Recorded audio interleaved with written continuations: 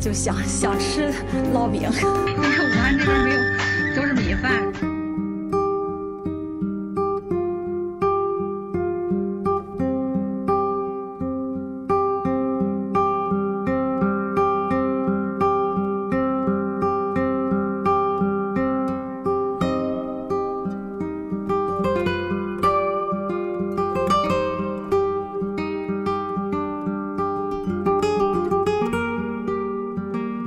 是下夜班嘛，饭局部长给我发微信，他说有一名军嫂给你送大饼，因为我是北方人嘛，然后我就想吃一口家里边的饼。送了多少张饼啊？一共是三十多张，做的是两种口味的，一种是带葱的，一种是不带葱的。